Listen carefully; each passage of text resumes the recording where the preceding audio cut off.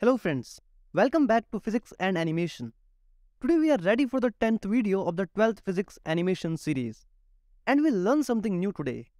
So let's start today's video by considering two point charges separated by distance d and are placed close to each other, where one charge is positive 10 and other charge is negative 2. In the previous video, we learned that charges with higher magnitudes tends to result in a greater number of electric field lines. Although the exact quantity may not be determined, there is a general rule that states a higher magnitude of charge result in a greater number of electric field lines. Let's assume that there are two electric field lines per unit charge. Based on this assumption, the positive charge of magnitude 10 will have 20 radially outward electric field lines. And we know that electric field lines originate from positive charges and terminate on negative charges. According to our assumption, there should be four electric field lines originating from the positive charge and terminating on the negative charge, as the magnitude of the negative charge is 2. Now, if we zoom out and observe the two charges from a distance, we see that the electric field appears to be radial. We can see 16 electric field lines that resembles the outward radial pattern of positive 8 charge, which represents the approximate electric field of the positive charge of magnitude 10 and negative charge of magnitude 2. It is approximate because the distance between the two charges is not zero, which could affect the net electric field. Okay, but what happens if both charges are equal in magnitude and opposite in sign? That is, one is positive 10 and the other is negative 10. Please note that. Now the net charge is 0. Will there still be some electric field? Let's understand this. Now, we know that according to our assumption, 20 electric field lines will originate radially outward from the positive 10 charge. And since the magnitude of the negative charge is also 10, all 20 electric field lines will terminate on the negative charge. And we can see that the electric field is not zero, but rather we observe a beautiful pattern of electric field lines due to two poles, positive and negative.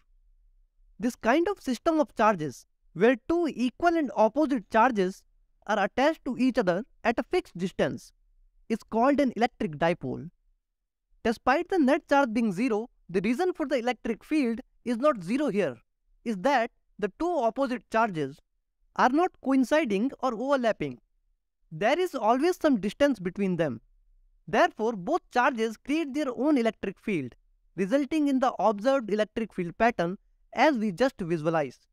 Let's take a step forward and understand the electric dipole in an even better way. What happens?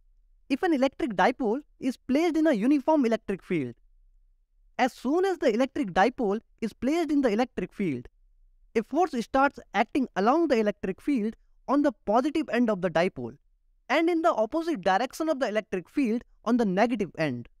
This creates a clockwise torque and causes the dipole to rotate about its center of rotation. If distance between the center of rotation and the two poles of the dipole is L, then the torque due to the negative pole is given by the F multiplied by L.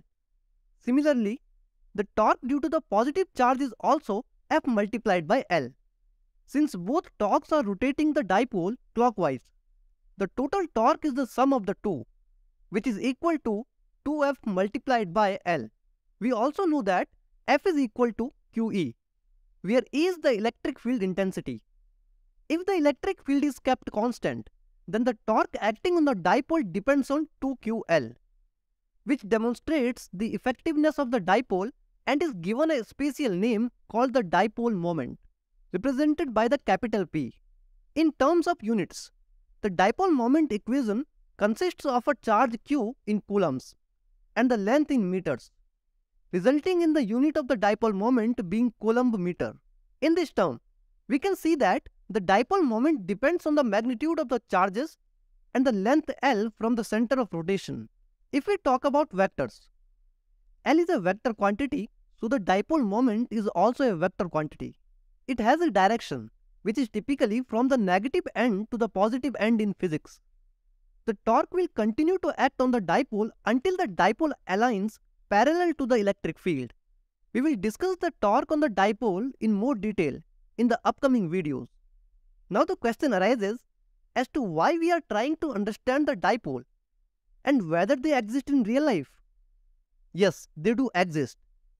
The practical application of dipoles is to understand molecular behavior, which affects physical properties such as melting point, boiling point and more. For example, the molecule of hydrochloric acid, HCl, has chlorine which is highly electronegative and hydrogen which is positive, creating a permanent electric dipole.